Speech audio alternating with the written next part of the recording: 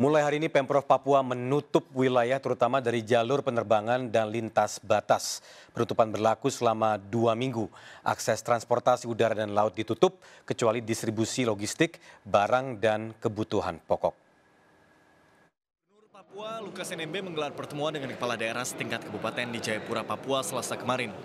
Rapat membahas langkah-langkah pencegahan wabah corona khususnya di Papua, mengingat sudah ada dua warga positif corona di Kabupaten Merauke. Dalam pertemuan ini disepakati, Pemprov Papua akan menutup wilayah, terutama dari jalur penerbangan dan lintas batas, mulai Kamis besok.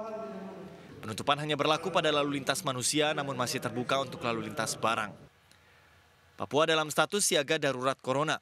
Pemprov menutup jalur penerbangan dan pelayaran mulai 26 Maret hingga 9 April. Angkutan barang dan bahan makanan tetap dibuka dan berlaku selama 14 hari.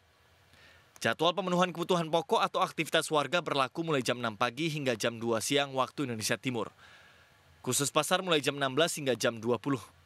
Tim Satgas akan bergerak guna menertibkan warga. Tim Liputan iNews melaporkan.